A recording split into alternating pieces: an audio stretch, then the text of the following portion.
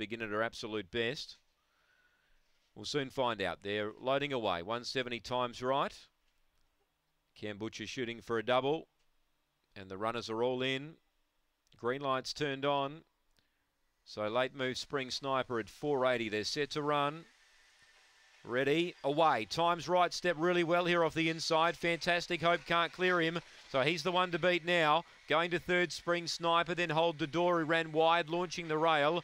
Well back, Nut Allergy, and last of all was Loggy Bridge. Down the back, times right, clear. Fantastic Hope about three lengths away. Running to third, Spring Sniper, hold the door, runs on, goes to fourth.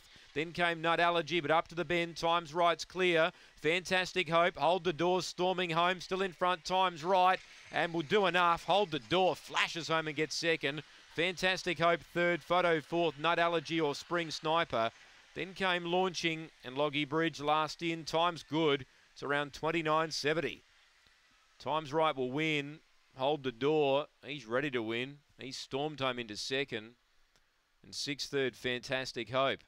1, 9 and 6, 29.73. It's a new PB. So as much as the winner's gone really well, the runner-ups come from near last to run second. And six third, Fantastic Hope. Three fourth, Spring Sniper. Two and a half by three quarters, 432 early.